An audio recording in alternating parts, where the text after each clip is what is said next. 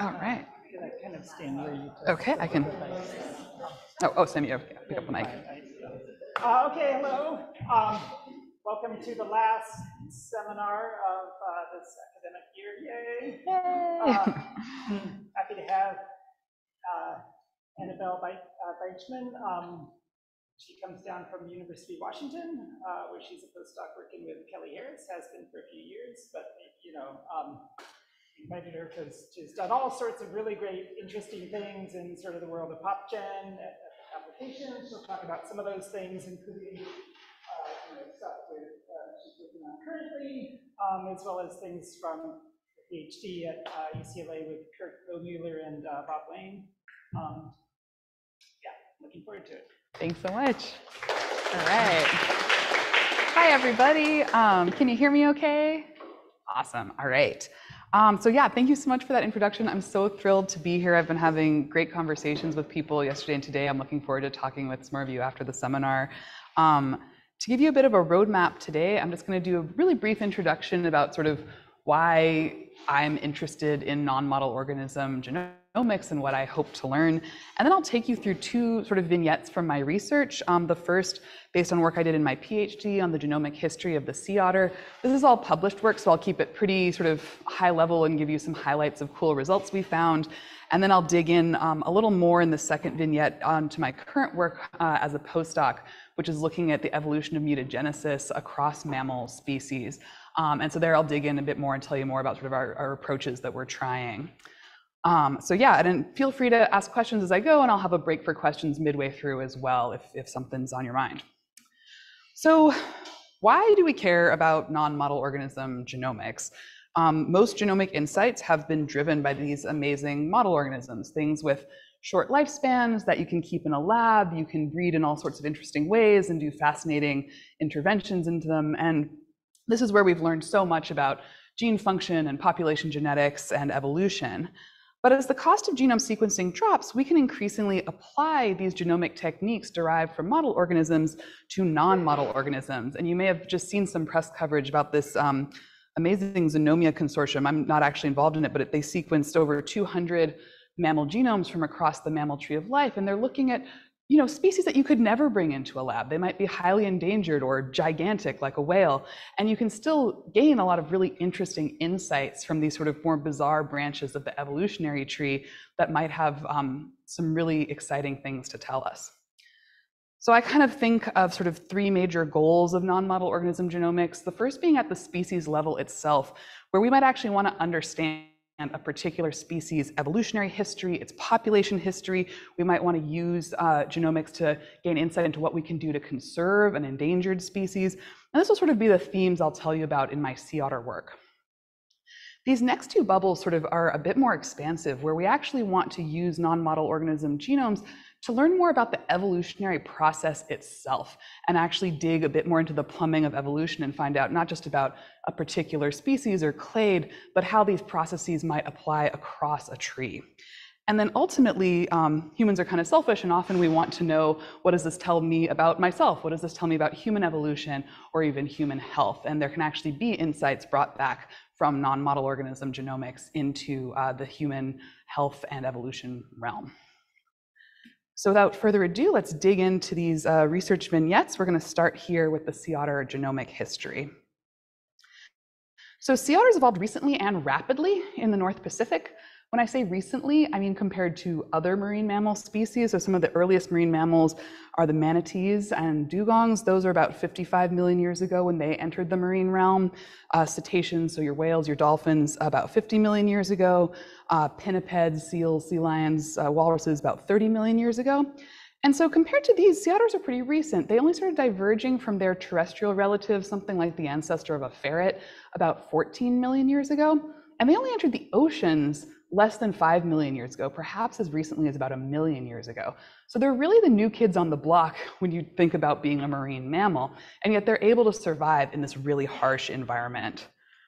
So is anyone a scuba diver? Yeah, okay. So you might know some of the things that you need to survive underwater, right? You need to be able to bring some extra air with you so you can stay down for longer.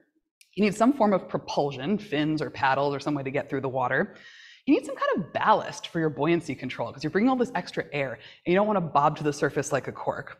And then perhaps most importantly, especially in the Northwest, you need some form of temperature insulation or you're not going to last down there very long. Sea otters don't have to stop at their local dive locker. Uh, they actually have evolved all of these traits pretty rapidly.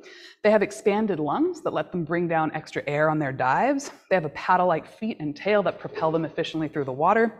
And they have really dense limb bones that actually act like a diver's weight belt that lets them uh, sink down deep in the water in spite of that extra air in their lungs. It acts as this buoyancy control. Perhaps most remarkably for sea otters is their form of temperature insulation.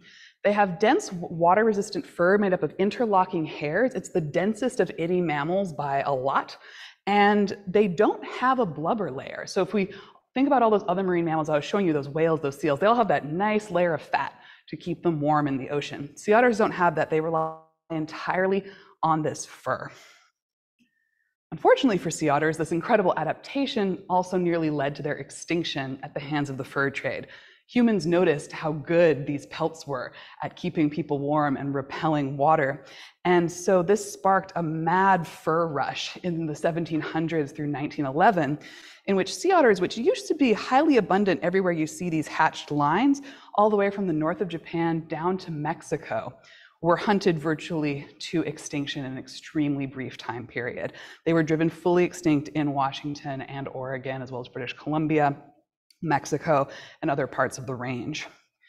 A few sea otters managed to cling on. There were remnant colonies of fewer than 100 animals in each of these blue locations that managed to cling to existence and have actually, since their protection, started to rebound in a major conservation success.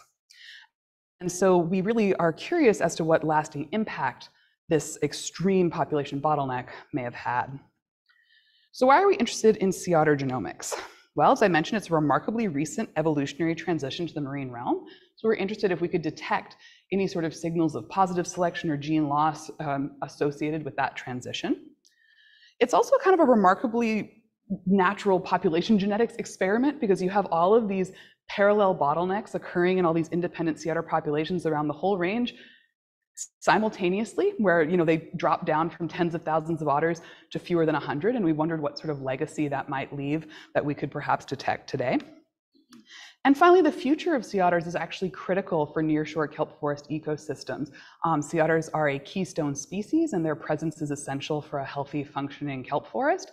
And so we wanted to understand if any sort of genetic legacies from the fur trade bottleneck could um, endanger them in the future and potentially harm their future recovery. So I started by sequencing, assembling, and annotating the first sea otter genome. Um, this was back before long reads were uh, really available, so it was really good at its time. Now there's like you know more fabulous assemblies that could be done, um, but we annotated it based on sea otter transcriptome data and carnivore protein data. At the same time, the Broad Institute was sequencing a giant otter genome. This is a freshwater otter species from South America. Sea otters and giant otters diverged about 10 million years ago. And it's a really nice point of comparison because they still have really interesting aquatic adaptations, but they don't live in the super harsh marine environment that sea otters live in. And they haven't experienced that extreme and sudden population decline that sea otters went through. And so they were a really useful sort of sister taxa for us to look at. Um, one of the best ways to sort of find what makes a particular evolutionary branch unique is by comparing it to all its relatives. So we had genomes from a bunch of other mammals that had been previously published, and so we could use comparisons between our otter genomes and these pre-existing mammal genomes to gain some insights into patterns of uh, positive selection and gene loss. I'm going to show you just a couple of our, our cool results. These are all uh, published in a paper in Molecular Biology and Evolution that uh, you can feel free to check out. Um, so one thing we did was look for signals of strong positive selection across uh, genes that we could align across these 13 mammal species. One thing we found is that people should be really cautious interpreting these strong signals of selection. We did a lot of visual inspection and curating of these results, and something like 80% of them were false positives. It was really grim. Um, but the ones that sort of made it through and seemed really sort of valid and interesting told us some interesting stories. And two of these genes in particular seemed really uh, excuse me, interesting to us. They're related in humans mice to limb density, cortical thickening, and bone mineralization. And I had mentioned to you that sea otters have these ballast-like dense limb bones. You can see a cross-section here of a femur between a ferret, a giant otter, and a sea otter. The sea otter's is shorter, denser, more fully mineralized inside with a thick cortical layer. And we think it's possible that changes in these genes may be under positive selection to drive this density in sea otter bones. We also found a sort of intriguing signal of weak polygenic selection spread across genes related to hair follicle development and density. This is a method called PolySel uh, that Josephine Daub and colleagues developed, where you aren't looking for those single big outlier genes in your selection scan. You're instead looking at a gene set related to a particular, perhaps gene ontology function, and seeing if that set seems to be enriched for low-level uh, changes and sort of weak positive selection. And so we found this sort of putatively interesting signal that it seems like a lot of genes related to hair follicle development seem to have sort of mild signals of positive selection. None of them are a big screaming outlier, but together they seem, um, based on a permutation test, significantly enriched for selection. And these genes in mice are related to things like uh, sparseness or patchiness of hair, whether hair mats or not, and the orientation of hair follicles. So it's sort of intriguing to think that perhaps this uh, amazing hair of otters is actually a polygenic trait affected by small changes across many genes. But what we really wanted to dig into from uh, sort of a population genetic standpoint is whether we can detect the impact of the fur trade, this extreme event that bottlenecked all these sea otter populations simultaneously. And to dig into this, we needed more sea otter genomes. One was not going to cut it. So we gathered over 100 sea otter samples from across the surviving remnant colonies, all the way from the Kuril Islands in Japan to California. We even got a couple from Mexico. And we were able to then uh, use these for the population genetic analyses we were interested in. Instead of resequencing every single one of these genomes in its entirety, we used a uh, technique called sequence capture, where we could, based on our annotation of the sea otter genome, pick regions of the genome we were interested in and choose just to sequence those. So sequence a subset of the genome. This means you can sequence a lot more individuals more cheaply. And so we could reduce this 3 billion base pair genome down to about 50 million base pairs that we were interested in. And I was aided in this work by an amazing undergrad who now has her own PhD, Amber DeVries. So we captured coding regions, uh, putative regulatory regions, and most useful for the sort of demographic inference we wanted to do, we tried to find putatively neutral regions, not subject to strong selection, that are really far away from genes, because that could give us our best snapshot of what's going on in the demographic history of the sea otter. These analyses enabled a huge, uh, excuse me, these data enabled a huge amount of analyses. Uh, we just made the cover of Molecular Ecology, so I urge you to, to check this out if you want to dig into it more. I'm just going to take you through a couple results today. But we had some ancient DNA, we had some really interesting recolonization patterns and stuff, so definitely check it out.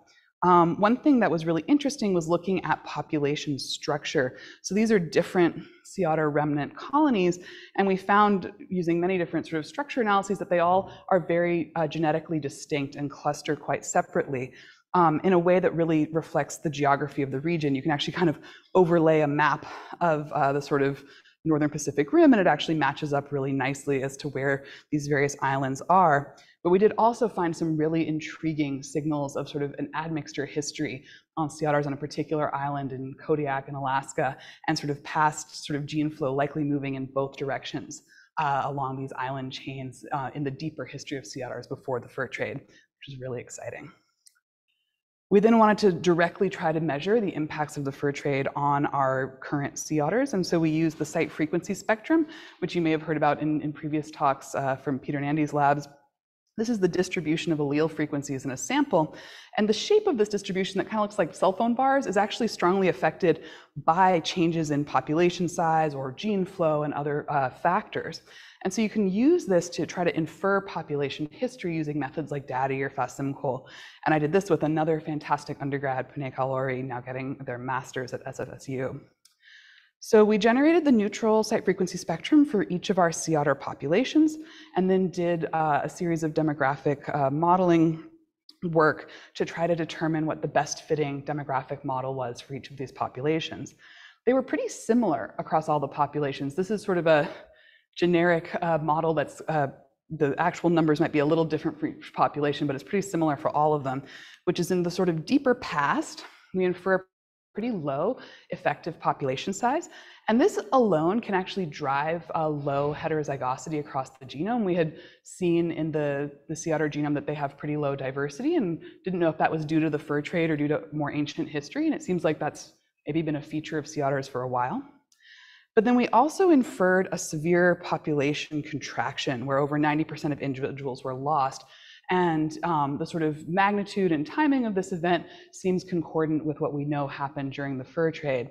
And the fact that we pick it up, the signal in every single population we looked at, um, gave us a bit more confidence that we were actually detecting that recent uh, bottleneck due to the fur trades. This is showing just a collapse from this ancestral size at the top of the L down to a sort of current effective size in each population that's something like 2 to 13% of the original population size.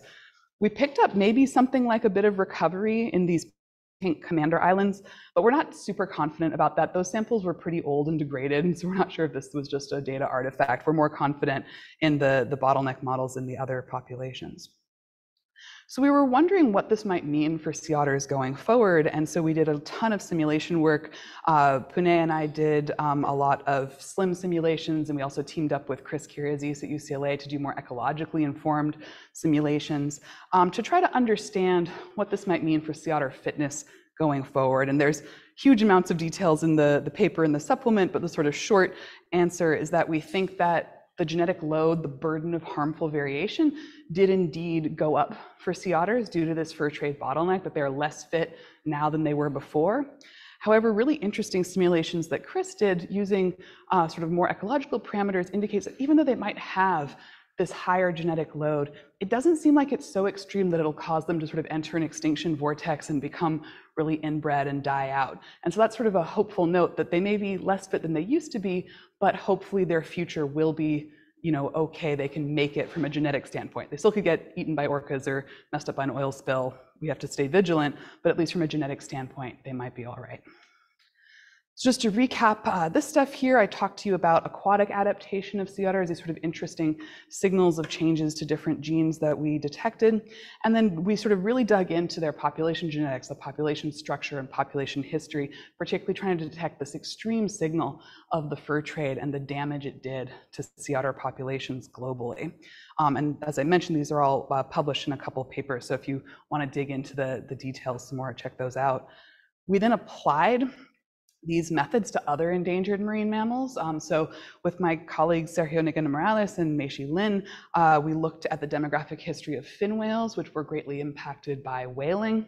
And then we also looked at the most endangered marine mammal in the world, the vaquita porpoise. Uh, there's only about 10 of them left. Um, and we tried to sort of understand whether they're doomed from sort of a genomic standpoint going forward due to low genetic diversity. And the results at least are somewhat hopeful that if they could stop being caught in nets as bycatch, they actually could maybe make it. Um, so I'm going to pause here for questions on this part of the talk, um, and and yeah, see where we go from there. Yes, please.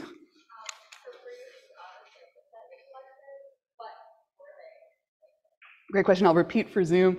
Um, so I was asked what samples were collected from sea otters, like what specifically we collected. So I sadly did not get to go out much in the field. Many of these samples are from existing collections dating back to sort of the 80s and 90s. And typically what happened is people do surveys in these areas and they will um, tag sea otters. And when they tag them, it's kind of like a, a hole punch uh, to put a tag in the flipper but that makes a nice little tissue plug that then gets frozen. Um, some samples we had blood. Um, I think some were from stranded sea otters, so there might be a necropsy, so there might be some liver or something else. Um, but yeah, great question. But I sadly did not get to collect most of them myself. yes, please.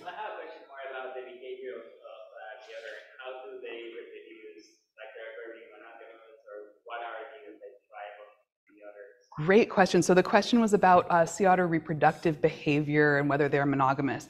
Um, so let me see. One thing that's sort of interesting about sea otters is their dispersal is very sex biased. Uh, so females tend to have a very constrained home range, and then the males sort of disperse more widely. There typically is one male who kind of dominates reproduction a bit in an area. It's not quite as extreme as sort of the harems of elephant seals, but there are males that are much more successful, and then many males who are sort of roving and, and not very successful. They don't form like strong monogamous pair bonds. They might maybe bond for a season uh, or not, depending. Um, but yeah, it's it's an interesting thing that we think about a lot, and we think this might contribute a bit to that low genetic diversity even prior to the fur trade of the fact that they have these small structured populations with very sort of biased sex ratios of who's reproducing could also like add to that low diversity.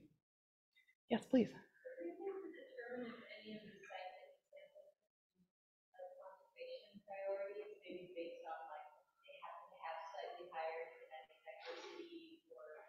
Great question. Yeah, so one thing we found is that sea otters in California are really deeply diverged from any other sea otters. Um, and they also have some of the lowest diversity and are recovering a bit the slowest. So to me, that made it seem like a big priority if we want to maintain that lineage that's, you know, 20 to 30,000 years diverged from any other sea otter population. And as I showed you on that map, right, like the sea otters in Mexico were driven extinct and the sea otters in Washington and Oregon were driven extinct. So there's this sort of whole patch of the west coast of the US where California's all that's left. So that to me makes it a big priority. Um, the story of the California otters is really sad. They thought they were actually driven fully extinct and they found 30 in Big Sur when they were building that famous Bixby Bridge. Some of you may even have taken a road trip through there. They found 30 that had made it, and all the ones alive today are descended from that 30. Um, I think the others, you know, there are some we found who have pretty high diversity, and they're also you know, recovering, I mean, they all have low diversity, let me say, but higher than California. Um, they seem to be recovering okay. Um, and I think the other, the big question in sea otter conservation right now is should we be doing translocations that like mix populations together? And we did simulations that said that that would certainly rapidly decrease the genetic load that they gain through the fur trade. So if you took sea otters from one area and mixed them with sea otters from another, and if they actually successfully interbred, you might be able to bring that load down faster. All right, maybe one more question, then we'll move on, but then happy to take more at the end as well. Or we're good. All right, thank you all. These were great questions. So I want to loop back here to our sort of big goal. So I've been telling you more about a very species-specific story with the sea otter, and now we're going to move on to these other bubbles and think more about these deeper evolutionary questions. So now let's talk about evolution of mutagenesis across mammals. So DNA mutations are really the substrate of evolution, right? Everything I was doing in that sea otter work relied on looking at mutations. And I started to get interested in my postdoc of, let me actually think about the process of how these DNA mutations came to be, which is something we often don't think about in PopGen. A mutation's a mutation, and we move on. Um, but we wouldn't have made it far past being single-celled organisms if we didn't have mutations. But on the other hand, mutations can also lead to really debilitating genetic diseases. They can lead to cancer, they can lead to aging. And so it's really important also for human health to understand where these come from. So there are two main sources of DNA mutations. Uh, some occur during DNA replication. When the genome is copied, when a cell is going to divide, there can be errors that occur. Many of these get repaired, some of them don't and may become mutations.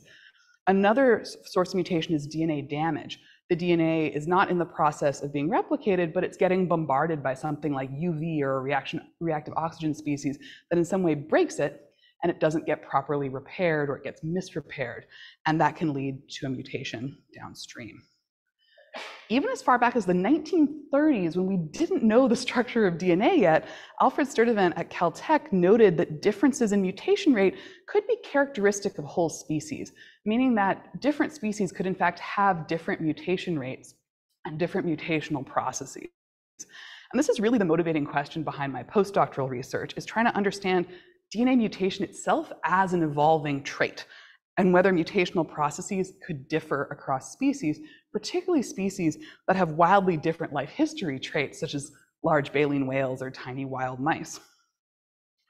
So what are these forces that might actually change how mutations occur and lead to species having sort of different patterns of mutation or mutation rates?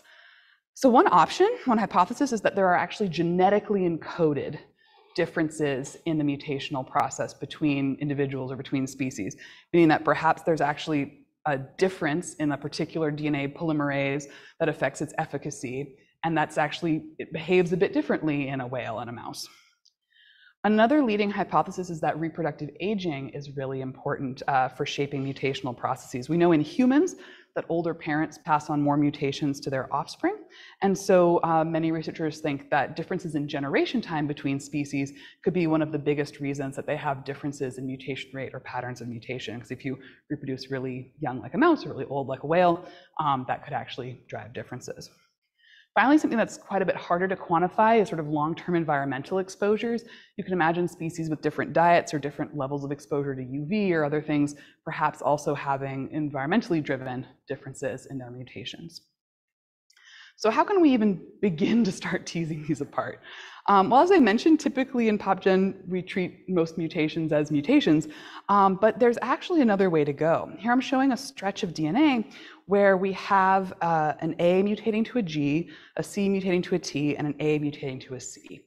Instead of lumping these all together and just calling them mutations, we can actually pay attention to what mutation is specifically happening and actually quantify the relative sort of rates of these different types of mutations in a sample from a particular tissue or from an individual or from a whole population or an entire species. And we can actually learn a lot from this mutation spectrum, this relative uh, sort of uh, ratios or proportions of these different types of mutations. We can even go farther. Instead of just looking at this singular mutation type, this what we call the one-mer type of a C to an A versus a C to a T, we can start to look at the flanking sequence around the mutating base, the base pairs on either side of it. So here I'm showing you two C to A mutations, but they have different flanking sequence, a TCT and an ACA, both of which are mutating C to A. When we look at what we call the three-mer or triplet mutation spectrum, where we expand those mutation types out to be 96 types, all uh, noted by this different sort of flanking sequence on either side of the mutating base, we can start to see really interesting patterns uh, emerge. This is what we call a mutation signature that's been uh, associated in cancer biology with a, def a defect in polymerase delta proofreading of DNA. And what you might notice about this is that this causes a big spike in these TCT to TAT mutations, but it does not cause a spike in increased ACA to AAA mutations. So if we had just lumped these together and called these both C to A mutations, we would have totally missed this fascinating signal that could actually be potentially diagnostic of if you see mutations in this pattern occurring in a cancer, you might say, oh, I think there's a defective polymerase delta. Um, and so this is just an example um, from cancer biology of how this mutation spectrum can start to help you get at these actual etiologies driving mutations. So there's a range of data that you can do this sort of mutation spectrum analysis to. I was just showing you results derived from somatic mutations, so from cancer biology uh, happening in the soma. But you can also study germline mutations using these approaches. So one way to do this, if you want to look at mutations that are directly passed from one generation to the next, is to look at de novo mutations by sequencing trios. So you can sequence the genome of mother, father, and offspring, and you can look at what mutations are new in the offspring that weren't in the parents and are basically passed on due to accumulated uh, DNA mutations throughout the parent's lifetime that they passed on to their children. These can give you really valuable insights into the mutation rate from one generation to the next, but these data are typically too sparse to look at that expanded 96 type spectrum that I was showing you. You're really stuck to that one mer spectrum. Germline polymorphisms are the type of data I'm mostly going to be talking about today. These are sort of SNPs circulating in populations that are relics of past mutations. Somewhere back in the history of this population, a mutation occurred, and now it's at some intermediate frequency uh, in the individuals alive today, but it started as a mutation. Um, these are highly abundant, so they can actually give us resolution on that 96 type mutation spectrum and actually even higher dimensional spectra. You can go up to five MERS or seven MERS. Um, we're getting thousands of mutation types, and you can actually still be able to fill in that spectrum. And they're available for many non-model organisms. It's hard, but is becoming increasingly available to get trio data from you know, weird animals on the evolutionary tree. Um, but many people have done interesting population genetic studies or SNP studies on non-model organisms. Germline polymorphisms do have downsides. Um, they might have been subject to selection or biased gene conversion in the past. You need to try to figure out ways to account for that. And they also occurred at different time points in the past. They can't give you that really nice snapshot of a mutation rate occurring from one generation to the next, but they can give you a general sense of patterns of abundance of different mutation types um, sort of averaged over time. So my PI at UW, Kelly Harris, uh, discovered that the germline mutation spectrum of humans evolves very rapidly. This is a principal component plot um, where each point represents an individual's three-mer mutation spectrum, the relative abundances of those different 96 types. And what you can see is that human individuals cluster by their continental ancestry really clearly based on these spectra alone. And this is interesting because human populations did not diverge that long ago, yet in that very recent time, something is different enough about their mutational processes that we can distinguish them this clearly just based on the relative abundance of these different mutational motifs. And so Kelly and I wondered what this phenotype might look like over longer evolutionary timescales, not thinking about uh, population divergence, but actually about species divergence. So I generated germline mutation spectra from 13 mammal species polymorphism data. This was a somewhat opportunistic data set because we wanted high coverage, high quality sequencing data from at least five individuals, um, and that can be a bit limiting. But the nice part about the data set we put together is it does span over 100 million years of mammalian evolution, and we do have an interesting range of sort of body sizes and other life history traits, so we could start digging in to some of these hypotheses.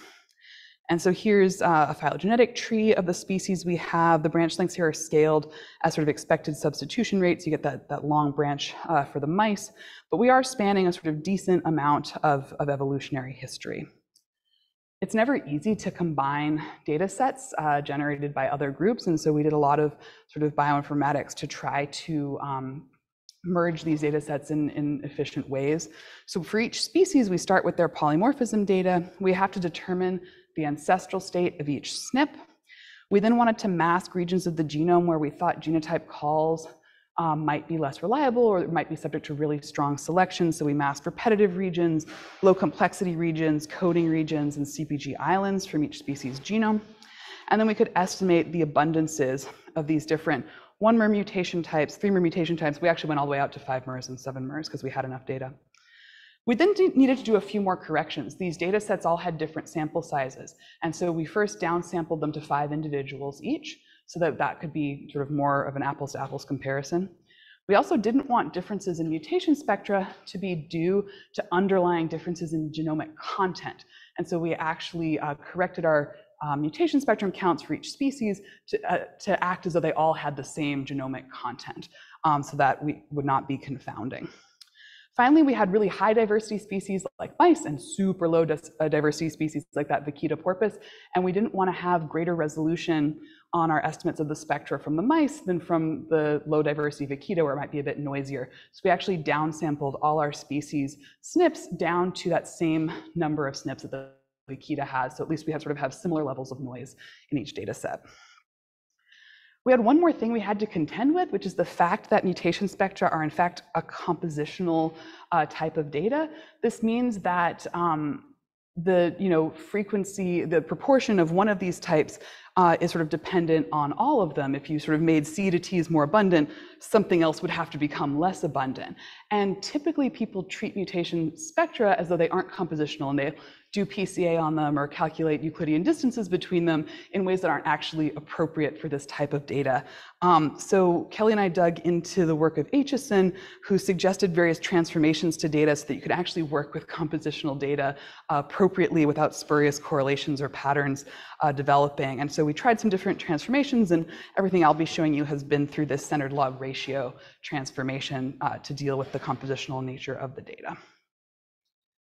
So the first thing we really wanted to look at is whether it seemed as though our spectra were evolving over our mammalian phylogeny. So we did this first just visually using a PCA. So this is really similar to that PCA I showed you from humans. Here, each point is an individual's three-mer mutation spectrum, but this has all our species, not just those human populations. So the first thing you might notice is that individuals within a species tend to cluster together. The colors kind of clump. But then there are actually these kind of interesting broader cladistic groupings. So the mice are here. The great apes, including humans, are here. And then this clade that includes wolves, bears, and whales are kind of grouping together up here on PC2. This was particularly interesting to us because most of these are, again, from different studies by different groups. And so we wouldn't think that, you know, data on the brown bears, polar bears, fin whales, vaquita, and wolves, all generated from different groups at different time points, different sequencing strategies, would all cluster together due to some underlying batch effect. It seems sort of intriguing that they're all in the same phylogenetic clade here and are clustering together. So we wanted to try to actually formalize this sort of visual signal that we see. And we did this by trying to correlate mutation spectrum distance with phylogenetic distance on the tree. So we calculated what's known as the Aitchison distance between every pair of species mutation spectra. So here I'm just showing as an example, house mouse and gorilla. So we can get the Aitchison distance between their one mer spectra, those are those simple six mutation types, or between their three mer spectra, those are those 96 types where you get a bit more uh, power to see interesting um, patterns. And we then could correlate that with how far apart they are on the phylogenetic tree. So here's a cartoon of what we're looking for. So if on the x-axis we have phylogenetic distance, on the y-axis we have mutation spectrum distance, each point is going to represent a comparison between a pair of species, between the spectra of the house mouse or the Algerian mouse, or between the spectra of the fin whale and the house mouse. If there's what we call phylogenetic signal, we might see some nice uh, tight correlation between how far apart you are on that tree and how different your mutation spectra are. On the other hand, many people think mutation spectra are just affected by random forces or by noise, and so then we might see this sort of uncorrelated scatter that doesn't indicate that there's any real relationship between how distantly or closely related you are and how different your mutational patterns look. Uh, finally, because these points are not independent uh, to test for significance, we can actually do a linear regression. Um, there's a test for phylogenetic signal called the Mantel test. It's one of the few tests for phylogenetic signal that actually works on a multivariate trait like the mutation spectrum. Um, and basically what it does is you have your matrix of mutation spectrum distances between every pair of species and your matrix of phylogenetic dis uh, distances between every pair of species, and you permute one of those matrices 10 million times to get sort of a null distribution um, that indicates what uh, level of correlation you might expect by chance versus something that may actually have some interesting phylogenetic signal. And that's how we get our p-values. So I'm first going to show you now we're in real data, no longer cartoon world. These are the results from comparing the one-mer spectra between all our pairs of species. And what we have here is a significant phylogenetic signal, uh, p-value 8 times 10 to the minus 6, uh, indicating that as you get more distant from each other on that phylogenetic tree, the distance between your mutation spectra goes up.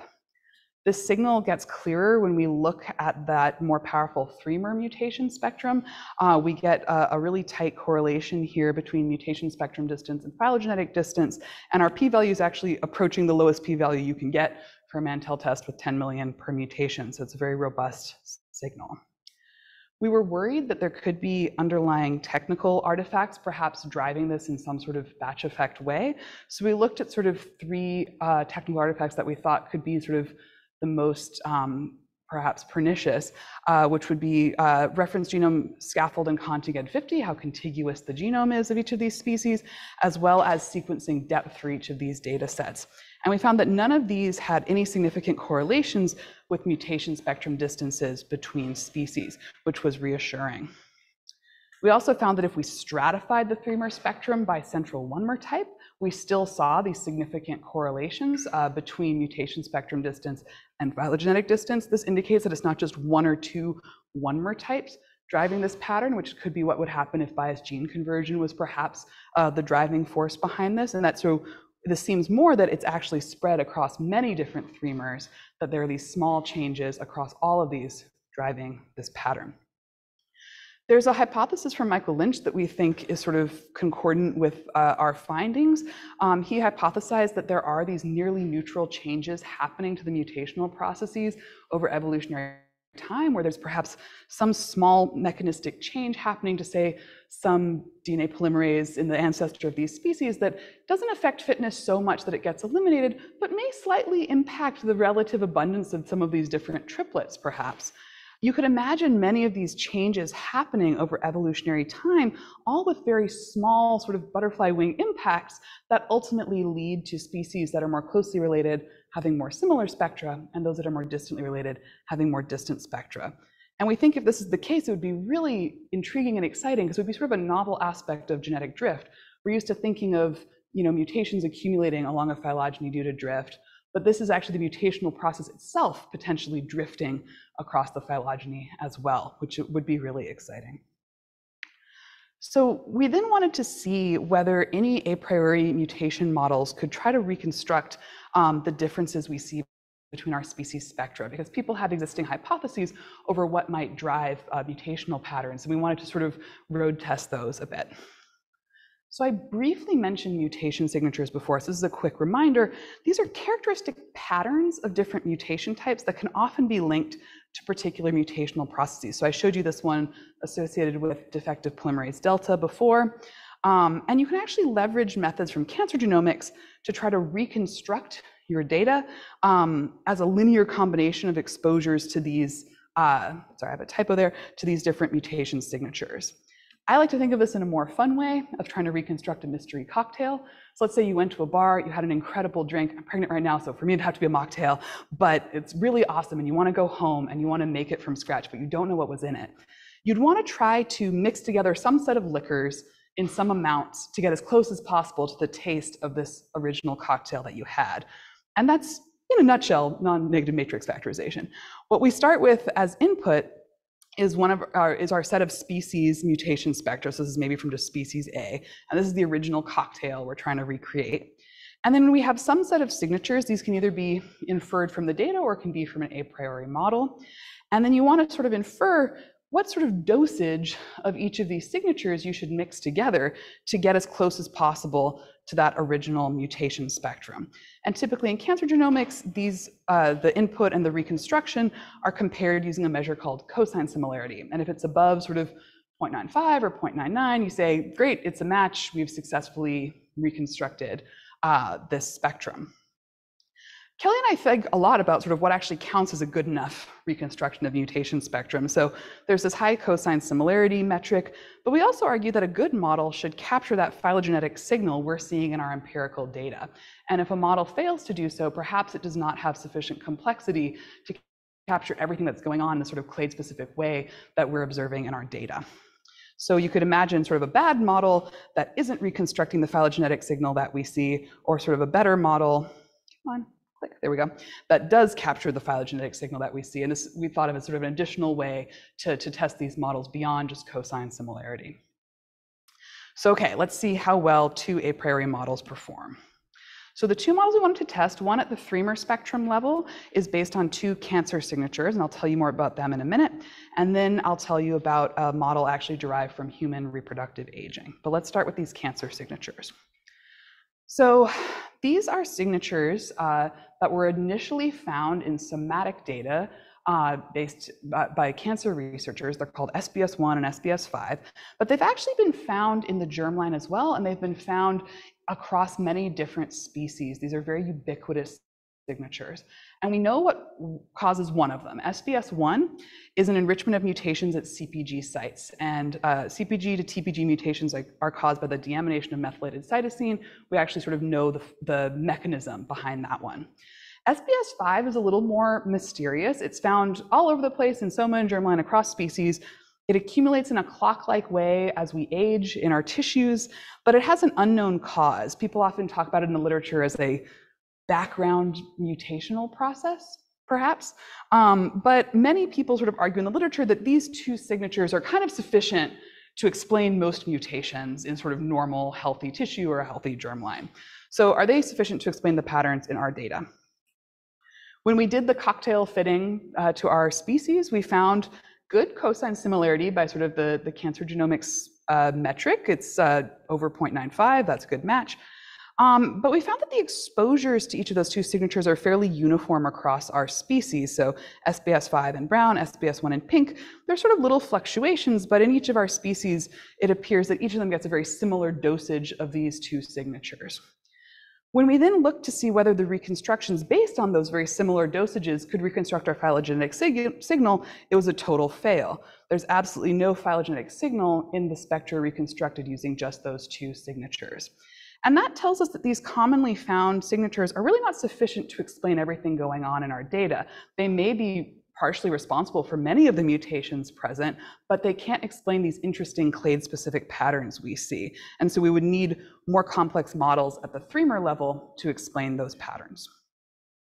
We're now going to drop down from that more powerful three-mer mutation spectrum down to that one-mer mutation spectrum because we want to look at reproductive aging signatures derived from human data. I mentioned to you that older parents pass on more mutations to their offspring. These are some data showing that from a family sequenced in Iceland by Jonsson and colleagues. Um, they looked at the age of the parent and how many mutations were passed on by that parent to their offspring, and you can see these uh, positive uh, correlations here, both for mothers and for fathers. It got more interesting when they dug into the one-mer mutation spectrum of uh, these mutations, not just that more mutations are occurring, but what types of mutations. For instance, in uh, aging parents, um, the fraction of C to G mutations that gets passed on stays really stable as fathers age. However, as mothers age, it sharply increases. So older mothers are passing on a much higher fraction of C to G mutations than younger mothers. And this has been uh, thought to be caused by double strand breaks in DNA in aging ova. So by digging into the mutation spectrum, you can actually start to separate out these two um, mutational processes of aging from the father's lineage and from the mother's lineage. And so some groups, including the Hahn and Sharp groups, have been actually trying to use these human reproductive aging signatures to predict mutational patterns in other species and across human populations through time. They've looked at owl monkeys, cats, Neanderthals, um, and there have also been some really good pushback to this approach as well, and sort of some interesting, really debate going on in the literature we thought, okay, hey, our data set's not perfect, but we've got a pretty good range of average age at first reproduction and of max reproductive lifespan across our species. Can we detect any sort of action of these human-like reproductive aging signatures in our data? And so we converted those regressions I was showing you into mutation signatures, uh, sort of representing each parent's sort of aging mutational process. So in red, we have the maternal age signature. You can see there's that big spike in those C to G mutations. In blue is the paternal aging signature, and then the sort of Kraft-Mac orange, we have what we call a young parent signature, indicating the sort of types of mutations you might inherit if both your parents were around puberty at the time of your conception and hadn't accumulated these sort of um, aging signature mutations yet. And so we did the same sort of uh, cocktail fitting approach, and we found uh, that we could reconstruct our species one-mer spectra uh, to very high uh, cosine similarity. I should briefly mention the reason we're dropped down to that one-mer spectrum is that we don't have any information about what reproductive aging does to the three-mer spectrum. The data are just too sparse. We're restricted right now to just this, these six mutation types. But what was really interesting is the good cosine similarity was intriguing. It's a very good match to our data, but the exposure patterns were actually really interesting to us. The first thing we noticed is that the two mouse species were reconstructed 100% using the young parent signature, no influence of maternal or paternal aging. And that made a lot of biological sense to us, right? Mice reproduce early, they reproduce often, they do not put off reproduction until after grad school, the way I did. Uh, we wouldn't really expect them to have a lot of due to parental aging. On the other hand, all our other species reproduce relatively later in life compared to mice, and all of them seem to so, show at least some impact of this paternal aging signature, though we couldn't find anything of the maternal age signature. There was another kind of interesting outlier that intrigued us, which was the wolf. This one, after the mice, had sort of the largest dosage of this young parent signature and the smallest dosage of the pater uh, paternal age signature. And that was interesting to us because after mice, Wolves are the next youngest reproducer in our data set. You know, mice reproduce at maybe 11 weeks, wolves are about a year, but all our other species are more like five years, 12 years, 20 years higher up. And so it's interesting to us that the sort of young reproducers in the data set seem to have the least influence of this paternal aging signature. It also intrigues us because we've been, we've been wondering why the comparisons between wolf and mouse in all of our sort of phylogenetic signal comparisons seemed on the low side for how distant they are on the tree. You can see these sort of two low outliers of our wolf comparisons and uh, wolf mouse comparisons, I should say. And that's sort of tantalizing that perhaps the similarity in their reproductive style of being young reproducers maybe is driving a bit of similarity at the spectrum level that is sort of that sort of belies their phylogenetic distance. But we'd really need more young reproducing non-rodents to sort of really drill into the signal but it's definitely tantalizing. Perhaps the most interesting thing about this reconstruction is that the mutation uh, aging mutation excuse me, aging signature reconstructions did capture the phylogenetic signal of our data. So in black is the empirical phylogenetic signal of our one-mer spectrum, and then in green are the reconstructions based on those aging signatures. And they actually do capture the same amount of phylogenetic signal as we saw in the empirical data. And that's really intriguing because it seems like at least at this very simple spectrum level, perhaps this model is actually a good contender for explaining differences between species spectra at the one-mer level. The residuals of the model were still pretty biased. There's improvements that could definitely be made, but um, I think this really can't be discounted as an important source of mutation spectrum variation. But just a reminder that we do think we need these more complex models to explain 3-mer spectrum variation. We have no idea what reproductive aging does at the 3-mer level, but just remember that we saw this much tighter phylogenetic signal and strong correlation uh, between mutation spectrum distance and phylogenetic distance at the 3-mer level, and it seems unlikely that the sort of weaker signal we're seeing at 1-mer level can explain everything at the 3-mer level. And so we think sort of maybe there's a model, a nice complex model that could actually involve both reproductive aging and perhaps genetically encoded differences that are drifting along the phylogeny that all sort of work together to shape differences between species mutation spectra. So to recap this part, so a characterized mutation spectra of 13 non-model organisms. Uh, we found that these mutation spectrum differences accumulate over a phylogeny, which could be consistent with a drift-like accumulation of nearly neutral differences. And then we also found that human-like reproductive aging may be sort of occurring and affecting mutational patterns um, across other mammals as well.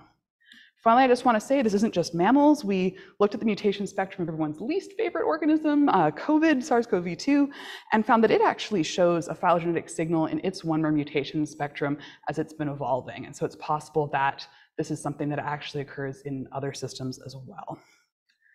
So to wrap up here, uh, we have looked at sort of species-specific insights from non-model organism genomes and then branched out into these sort of deeper evolutionary questions by comparing genomic data sets across species with hopefully some um, carryaways for, for our own uh, insights into ourselves as well.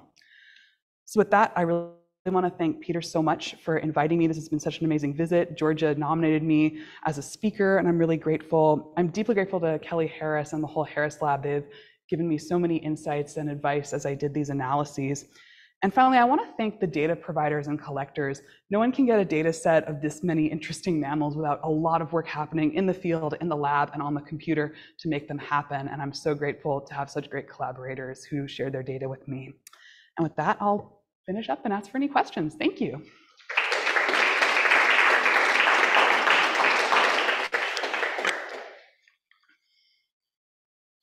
Yes, please.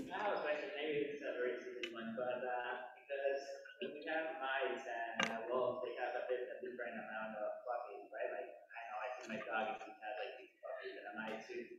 We're comparing it to another kind of animals that would have like a different kind of descendants, where maybe one or two.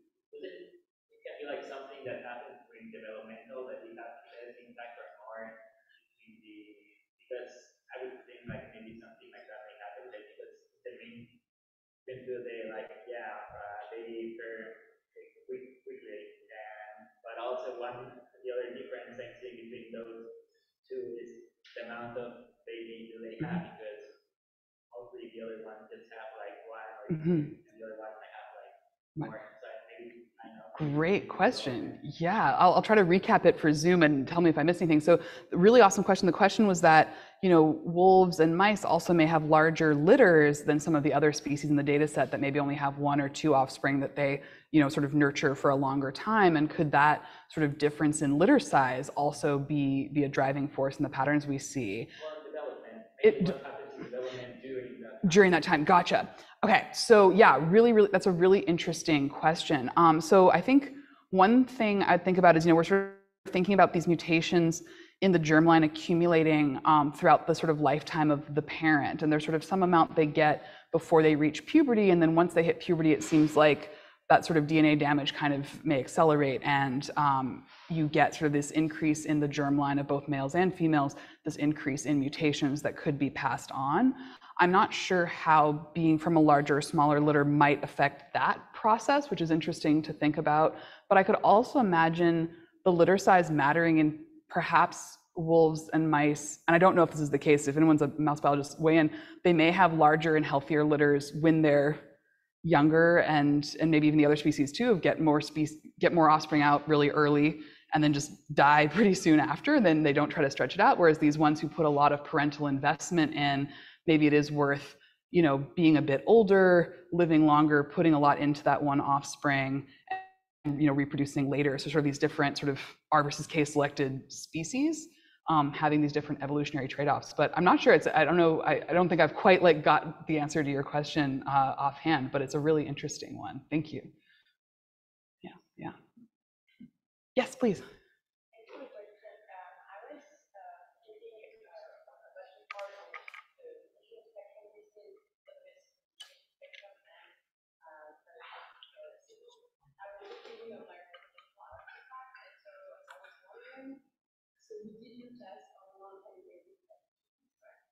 Eh, Sorry, say non-calibrated what? Phylog- oh, yes. Um, so like uh, ultrametric versus non-ultrametric phylogenies.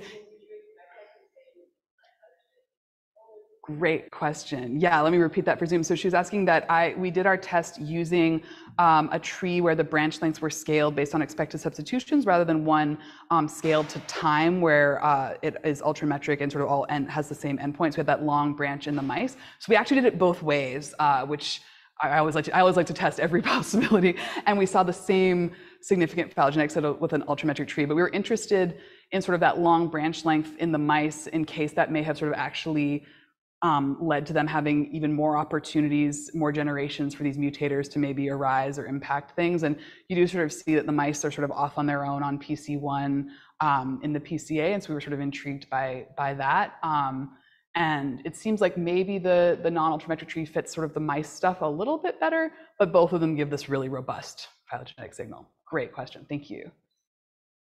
Any others? F.A. So, you know, raises a lot of questions, uh, a lot of ideas, but one of them is, you know, when you think about this, the, the phylogenetic signal in the data, there's so many things other than your genes that you respond, like changes in DNA that you respond. Mhm, mhm.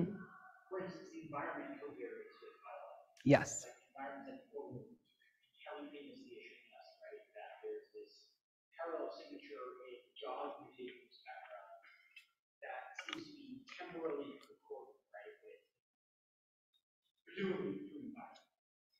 So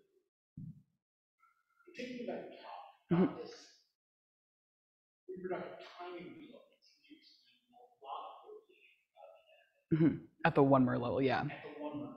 Mhm. Is there any reason to go and look like, is there any Yeah. to think there's anything else going on? So that's a great question. So let me repeat some of it back for Zoom and you can tell me if I left anything out. So Annie's great question is sort of, you know, of all the things that can co-vary with phylogeny, including say the environment, that it may not actually be like genetically encoded changes to say DNA repair genes, that it could just be environment co-varying with phylogeny that drives this.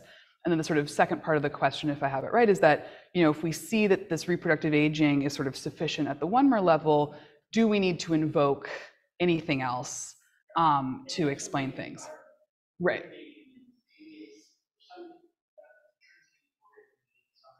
Something that's extrinsic. Yeah, I think that's a fantastic question. That's still a very active question. Um, I would say a few things about that. One is that I do think reproductive aging is a very important factor, and there are some groups who do th- think it is the only factor. Um, I also think the environment and genetically encoded mutators are important for a few reasons. One is we have found genetically encoded mutators. They do exist. Um, they've been found in mice, they've been found in yeast, uh, they were recently found in a macaque. So we know that there are genetically encoded differences that can adjust the mutation spectrum. So that's one, it's like we know they're out there. I think it's quite possible there's more we haven't found that just have very low effect uh, sizes. The other aspect is that, you know, we're explaining things sort of at the one mer level, but then when we stratify that three mer spectrum by central one mer, we still see this really strong phylogenetic signal. And as far as we know, reproductive aging, I mean, all we know about it is what it does to one mers. It could well have triplet effects we don't know about, but it seems sort of perhaps that there's probably other things affecting those triplets, which could be intrinsic or ex- extrinsic. And then finally, we do see, and I didn't present these data, we see sort of interesting clade-specific enrichments of even longer motifs, like particular seven-mer motifs or five-mer motifs, say in the two whale lineages, the fin whale and the vaquita, that it's like an enrichment of one particular um, uh, seven-mer. And the fin whale and vaquita were sampled from the same environment. They're both in the Gulf of California. The fin whale has a um, long reproductive lifespan. You know, they live to be like 80 years. They reproduce at age like 20. Uh, vaquita starts reproducing at five and reproduces every year and has a short lifespan. And it, they had near identical enrichment of a particular motif. Is that just the environment? Probably not. Is that just, you know, so things like that sort of stick out to us as like, yes, reproductive aging, yes, environment, but something else that's like inherited genetically seems relevant. We were, if you have ideas for that, I would love to chat about that. For, for, for Zoom, he asked if we could regress the environment out. I think that'd be amazing. We did do some, we did a lot more sort of confounder tests than I was able to show today of different sort of biological confounders like genetic diversity, age of first reproduction, and some are associated with mutation spectrum, some are only associated with the mutation spectrum of certain types. Um, but we didn't have a ton of environmental data. There are just, again, sort of observational things like if we think about environmental exposures, right? Humans and chimps, very closely related. Our environments are very different. You know, we're smoking, we're out doing all of these different things, and yet their spectra fall right where they should on that line. Polar bears, brown bears, very different environments. One hibernates, one doesn't. Pretty, you know, their spectra are sort of appropriate, you know, and, and fin whale of vaquita, like everything is sort of falling where it should on that line. And so it's, but I think, yeah, it'd be really cool to talk after the seminar about like if we could actually formally regress those effects out, especially if we could regress out the reproductive aging and like see what's left. Yeah, great question. Any other last things? I know I've kept you guys a while. Maybe we should thank Annabel again. yeah, we can chat after. Thank you so much.